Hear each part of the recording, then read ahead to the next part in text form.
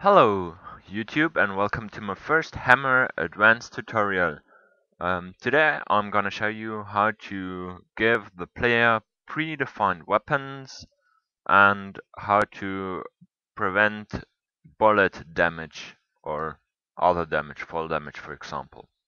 So first the predefined weapons. For this we need a game player equip we'll just place it anywhere around. Um, now the uh, class info is very interesting.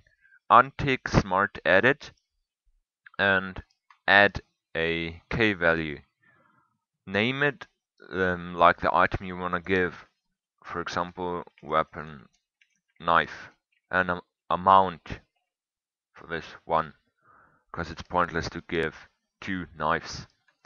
And you can also give a weapon deagle or um, a weapon HE grenade for grenades.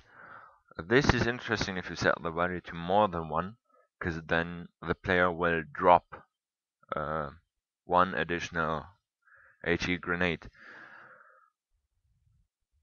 And you can also give a item assault suit which yeah gives you a suit.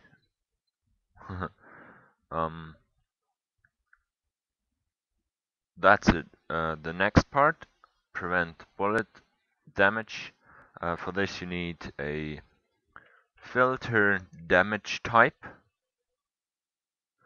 um, which you just give a name. No damage for example.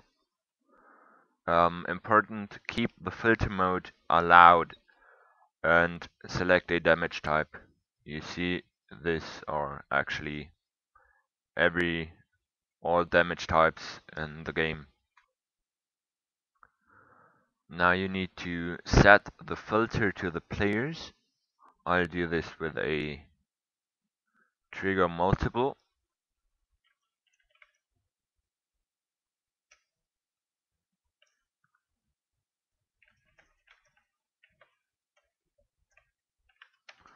Um, just give the output on start start touch activator set damage filter to the chosen damage folder. Okay, um, as soon as you type this line, this little icon will turn gray, which shows you that it still will work even if this line is red.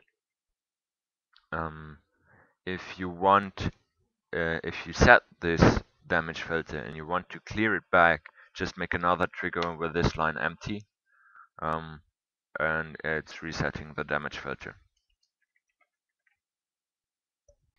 Okay, the first thing I want to show you is the equipment you're given if you spawn. So let me just select, okay. So here you see I got the deagle and the assault suit. That's that's pretty cool. Okay, now this is a bot. I turned on zombie mode so he won't shoot. And as you see, I can't kill him. And now, if I turn zombie mode off, you see he can't either kill me. And if I use knife, it's also useless. It won't hurt him. This is this comes kinda handy for fun maps where players shouldn't kill each other. So, yeah, that's it. Thanks for watching.